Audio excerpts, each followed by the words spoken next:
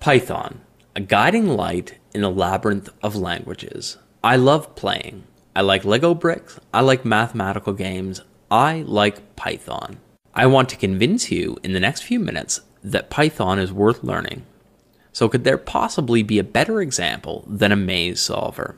So, in just a few minutes, we'll try to write a program in Python capable of solving an ASCII maze. I've already prepared one as we can see from this file in my editor. A simple maze with a bunch of cells. The program will try to find a path from cell S, the starting position, to cell E for end.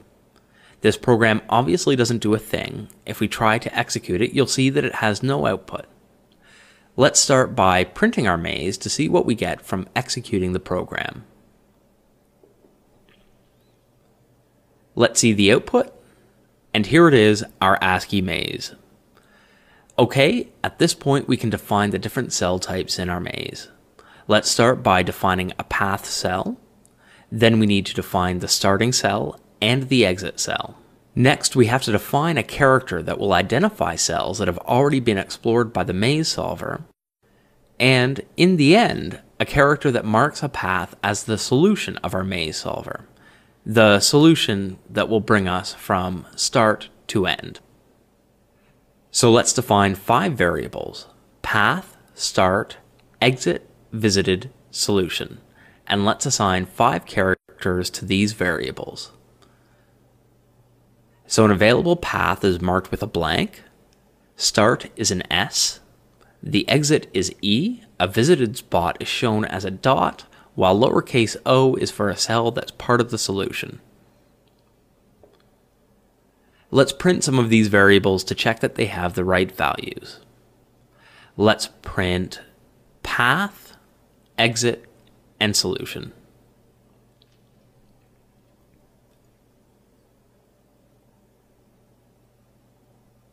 Perfect. Obviously we don't see path because it's blank, but we rightly see E and O.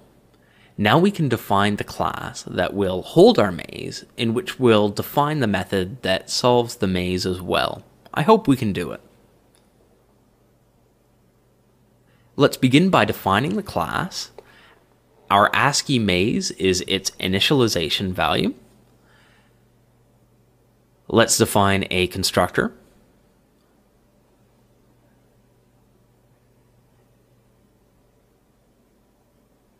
That will take as its first and only parameter our maze, that is the string which corresponds to the maze.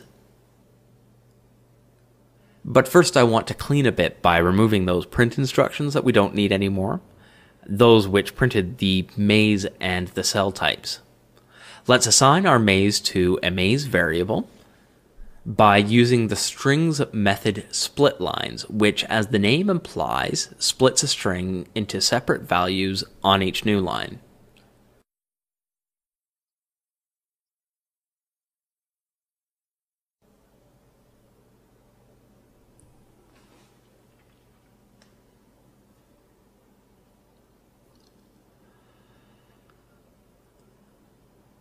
Now let's try to print the maze by creating repr, which returns a string representation of the object itself. So now we have to do the inverse operation. We need to merge our strings in order to print them in a friendly way for people who watch the program's execution.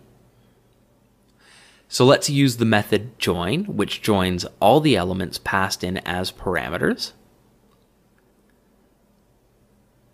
And let's test a bit we can try to print the class. Let's define an instance and then print it. This instruction is executed only when the program is run by the interpreter at the command line, not when it's just imported as a library. So let's define an instance of the maze class to which we pass in the variable ASCII maze, and we try to print the object good, it worked. So now we have a class that has a list of lines which represent our maze. And we have a method to display the maze in a human-friendly way.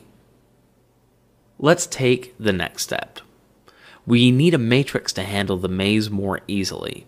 Because simple lines aren't enough, we need to split every line into its own cells. In order to do so, we can use a syntax that allows us to transform a string into a list of characters. The syntax is list row for each row that's in the maze.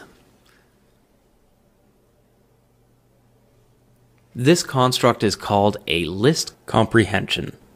So in a single line, what we do is take the string and split it into multiple lines, then for each line, split it into its characters.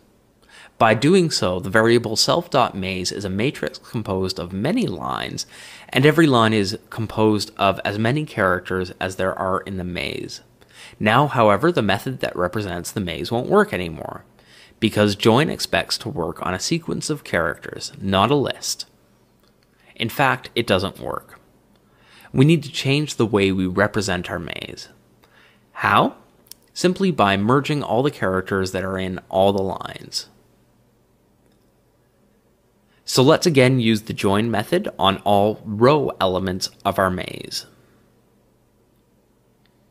This should be just good enough. Let's try, and it works. Now we have a maze that's a bit more mathematical. Because it's composed of the individual characters rather than multiple strings or a single string, but rather a matrix where every element is a maze cell. Now we need to check which cells of the maze are the start and exit cell. How do we look for the start cell? By iterating over every line of the maze and for every line we count how many elements are equal to the start cell character. Obviously there will be only one line with element S. So in a single step we can iterate through the maze and look for the line which contains the start cell S. Then with a row count, we can count all the elements of a row which contain the start cell for every single row. Then, when we have this list, we can grab the element that contains value 1 because all other elements will be set to 0. Now, let's search within this line, which is the position where S is located. So once we find the line that contains S, let's look for the S position within this line. We can accomplish this by using the method index on the list which returns the position of a certain character within the list itself. Okay, we have a maze variable that contains the matrix which represents the maze itself.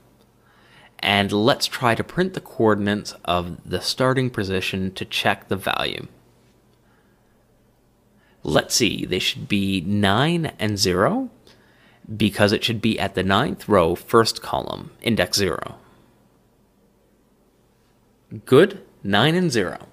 So the maze is well represented and we know where to start. How to get out of it is a bit more complicated, but let's have our class do the job. Let's define a method named solve that starts exploring the maze starting from S, whose location we know thanks to start X and start Y.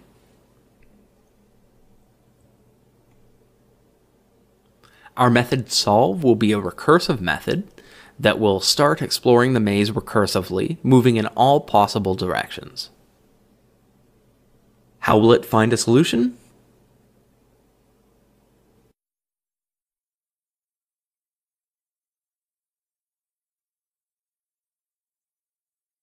Well, let's start by considering the maze's starting position, that is from coordinate x and y.